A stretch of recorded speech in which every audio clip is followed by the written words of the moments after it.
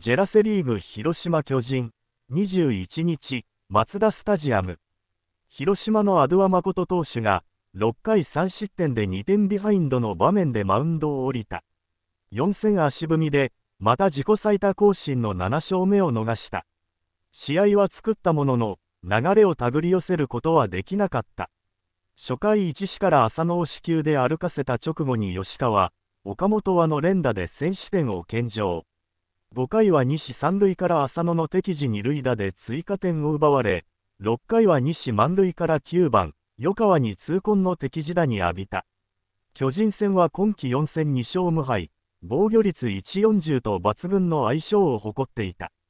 11日の対戦、松田では6回無失点で2塁を踏ませない好投だったが2点リードの9回に守護神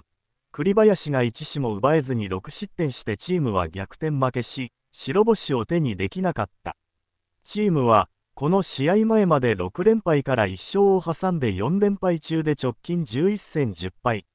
9月4日まで首位を守っていたが前夜20日の敗戦で7月11日以来の B クラス4位にまで転落した。